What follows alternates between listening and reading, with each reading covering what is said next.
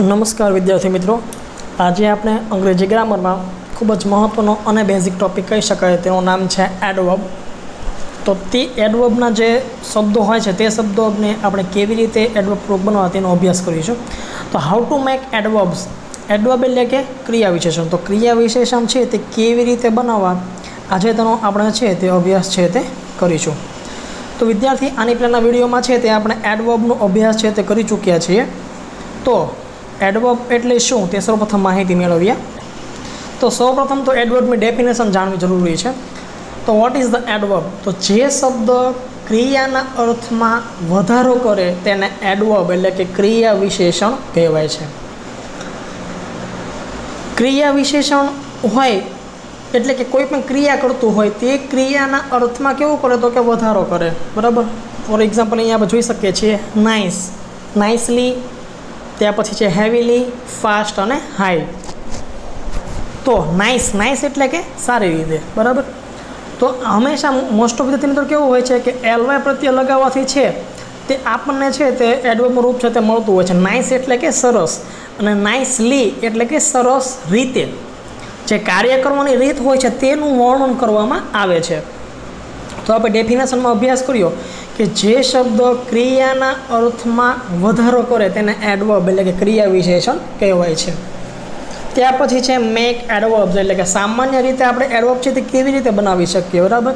તો સામાન્ય રીતે વિશેષણને અંતે એલવાય પ્રત્યે લગાડવાથી એડવર્બનું રૂપ છે તે બને છે.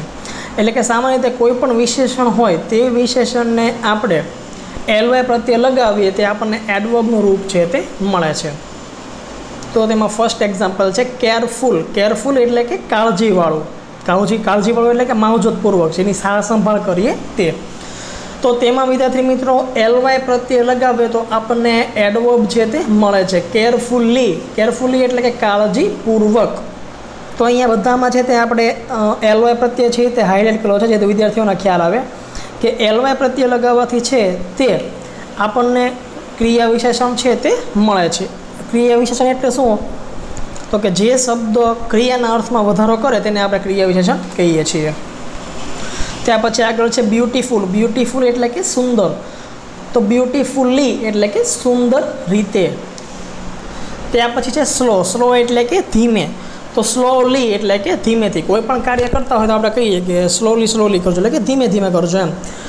તો કાર્ય કરવાની રીત છે તેનું અહીંયા વર્ણન થાય છે. ત્યાર પછી સ્વીટ સ્વીટ એટલે કે મધુર. અહીંયા સ્વીટ એટલે મીઠાઈ પણ થાય, પણ અહીંયા આપણે અવાજના અર્થમાં વાત કરવામાં આવે છે. સ્વીટ એટલે કે મધુર.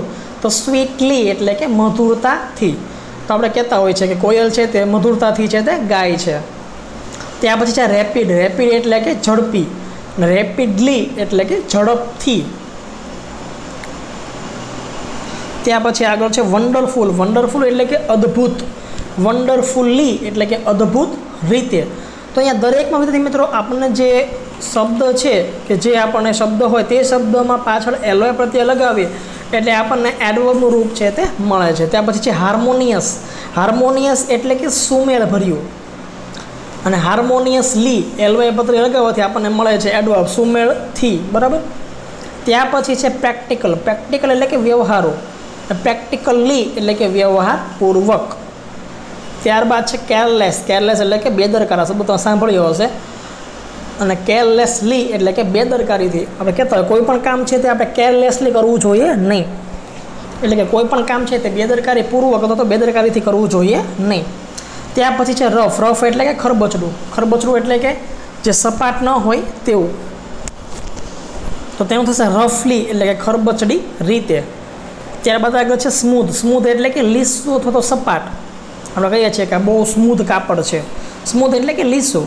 અને સ્મૂધલી તો તમે આ શબ્દ સાંભળ્યો હશે સ્મૂથલી એટલે કે સપાટ રીતે. ત્યારબાદ આગળ છે, ત્યારબાદ આગળ છે ઇફેક્ટિવ ઇફેક્ટિવ ઇફેક્ટિવ એટલે કે અસરકારક. અને ઇફેક્ટિવલી એટલે કે અસરકારક રીતે આપણે કહીએ છીએ કે આ દવા છે તે બહુ ઇફેક્ટિવલી છે, એટલે કે ખૂબ જ અસરકારક છે. ત્યાર પછી છે સરપ્રાઇઝ સરપ્રાઇઝ એટલે કે આશ્ચર્ય, અચંબા પામીએ તે. અને સરપ્રાઇઝિંગલી એટલે કે આશ્ચર્યતાથી. ત્યારબાદ છે હેવી હેવી એટલે કે ભારે. અને હેવીલી એટલે કે ભારેથી તો ભારપૂર્વક તો અહીંયા મિત્રો હેવી છે. તે હેવીનું આપણે એડવર્બ છે તે વાય પ્રત્યે દૂર કરી અને એલવાય લગાવવાનું હોય છે. એટલે હેવીનું બનશે હેવીલી બરાબર? સ્પેલિંગ ખાસ યાદ રાખજો. ત્યારબાદ છે બ્રેવ. બ્રેવ એટલે કે બહાદુર. તો બ્રેવલી એટલે કે બહાદુરી પૂર્વક. ત્યારબાદ છે હરી. હરી એટલે કે ઉતાવળ. તો અહીંયાથી મિત્રો આપણે સ્પેલિંગમાં ફેરફાર થાય છે. હરીમાં છે તે વાય હટાવી અને આઈ ઈ એટલે કે હરીડલી છે તેનો શબ્દ બને છે. હરીડલી એટલે કે ઉતાવળથી ત્યારબાદ આગળ છે નાઇસ. નાઇસ એટલે કે સરસ. તો તેનું થશે નાઇસલી એટલે કે સરસ રીતે. ત્યારબાદ છે ક્લિયર. ક્લિયર એટલે કે સ્પષ્ટ ચોખ્ખો. તો ક્લિયરલી એટલે કે સ્પષ્ટપણે. ત્યારબાદ છે સિગ્નિફિકાન્ટ. સિગ્નિફિકાન્ટ એટલે કે અગત્યનું મહત્ત્વનું તો એનું થશે સિગ્નિફિકાન્ટલી એટલે કે અગત્યા, અગત્યતાથી. મોસ્ટ ઓફ છે તે પાછળ એલવાય પ્રત્યે લગાવવાથી આપણે એડવર્બનું રૂપ છે તે મળતું હોય છે. ત્યારબાદ છે જોય. તો જોયનું થશે જોયફુલી, એટલે કે આનંદપૂર્વક, અથવા તો આનંદપૂર્વકથી. ત્યારબાદ છે સેડ. સેડ એટલે કે ઉદાસ, દુઃખી. તેનું થશે સેડલી, એટલે કે ઉદાસ રીતે. ત્યારબાદ છે ટાઈટ. ટાઈટ એટલે કે મજબૂત, કડક. ત્યાં થશે ટાઈટલી, એટલે કે મજબૂત રીતે. ત્યારબાદ છે કાઇન્ડ. કાઇન્ડ એટલે કે દયા. અને કાઇન્ડલી એટલે કે દયાપૂર્વક. ત્યારબાદ છે નીટ. નીટ એટલે કે ચોખ્ખું થતો સુઘડ. તો નીટલી એટલે કે સુઘડતાથી. ત્યારબાદ છે ક્રિએટિવ ક્રિએટિવ એટલે કે સર્જનશીલ. અને ક્રિએટિવલી એટલે કે સર્જનશીલતા પૂર્વક. ક્રિએટિવ એટલે કે સર્જનશીલ. કંઈક નવું નવું ઉત્પાદન કરે, કંઈક નવું બનાવે તે. આપણે કહીએ છીએ કે આ ખૂબ જ ક્રિએટિવ માણસ છે, એટલે કે સર્જનશીલ માણસ છે. ત્યારબાદ છે જેન્ટલ જેન્ટલ એટલે કે ધીમો. ત્યારબાદ જેન્ટલી એટલે કે ધીમેથી. ત્યારબાદ છે વિલિંગ વિલિંગ એટલે કે ઈચ્છા. અને વિલિંગલી એટલે કે ઈચ્છાપૂર્વક. તમે જોયું હશે, ઘણી બધી જગ્યાએ છે તે કોર્ટમાં પૂછવામાં આવે છે કે તમારી લાસ્ટ વિલ કઈ છે? એટલે કે છેલ્લી આખરી ઈચ્છા છે તે કઈ છે? ત્યારબાદ છે વીક વીક એટલે કે નબળું. અને વીકલી એટલે કે નબળાઈપૂર્વક. એવી મિત્રો વીક ડબલ્યુ ઈ એ કે છે. ડબલ્યુ ડબલ ઈ કી એ આ વીક એટલે કે નબળું. ડબલ્યુ ઈ એ કે અને પેલું વીક ડબલ્યુ ડબલ ઈ કે ઈ વીક એટલે કે અઠવાડિયું, બરાબર? બંનેનો પ્રોનાઉન્સિએશન સમાન છે, પરંતુ મિનિંગ છે તે અલગ અલગ છે. ત્યારબાદ છે બીટર બીટર એટલે કે કડવું. તો બીટરલી એટલે કે કડવાશથી. અને લાસ્ટ છે ફાસ્ટ તો અહીંયા મિત્રો ખાસ યાદ રાખજો ફાસ્ટ છે તેનું ફાસ્ટલી થશે નહીં. બરાબર? ફાસ્ટનું ફાસ્ટ જ રહે છે. તે પોતે એડ એડજેક્ટિવ વિશેષણ છે, તેનું તેનું તેનું તે જ રહે છે. એટલે ફાસ્ટનું ફાસ્ટલી થશે નહીં.